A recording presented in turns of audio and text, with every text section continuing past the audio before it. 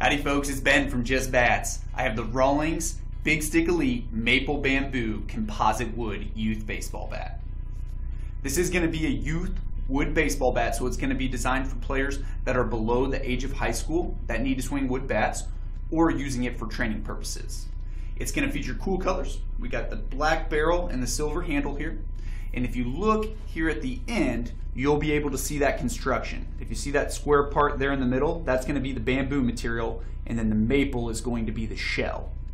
This construction is going to create for a more durable bat, and because of that, Rawlings is able to put a 90-day manufacturer's warranty period on the bat. So you can get it, and if it breaks within 90 days from the purchase date, you would be able to send the bat to Rawlings and get a replacement at no additional cost.